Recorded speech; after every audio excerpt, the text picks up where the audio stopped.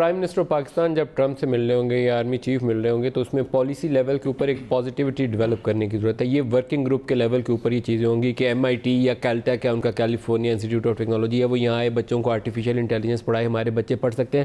لیکن آج جو پالیسی سٹیٹمنٹ نکلنی ہے، وہ اس راہ کا تعین کرے گی کہ ہم اس راہ پہ چل سکتے ہیں یا نہیں چل سکتے۔ عمران خان نے کل ایک جملہ بولا تھا وہیں پہ ایرینا کے اندر ہی کہ میں کبھی جھکاؤں نہ جھکوں گا، آپ کو سنانا چاہوں گا، پھر اور آگے چلاتے ہیں پروگرام۔ دکھائے گا جی۔ آج تک میں کبھی کسی کے سامنے جھکا ہوں، سوائے اللہ کے۔ اور انشاءاللہ کبھی اپنی قوم کو کسی کے سامنے نہیں جھکنے دوں گا، انشاءاللہ۔ اس پہ کامنٹ کریں گے، کیونکہ میرے خیال میں یہ آج جنرل باجوہ اور عمران خان دونوں کی ذمہ داری ہے کہ چند ڈالرز نہیں لانگ ٹرم انٹرسٹ کے اوپر بات کریں۔ بڑا ہم نے سفر کیا پاکستانی قوم نے۔ کتنے پچاس، ساٹھ ہزار بندے ہم کہتے ہیں دنیا کو کہ ہم نے گوا دیے اور کیا بتائیں دنیا کو؟ ساٹھ ہزار بندہ تھوڑی تعداد نہیں ہوتی۔ بالکل آپ کی بات صحیح ہے۔ کہ جھکنے والی تو بات نہیں ہے۔ اس میں جو ہمارا جس طرح سے میں نے آپ کو کہا، اس وقت پہلی تو بات یہ ہے کہ یہ جو میٹنگ ہو رہی ہے، یہ امریکن ایڈمنسٹریشن کی ریکویسٹ کے اوپر ہو رہی ہے۔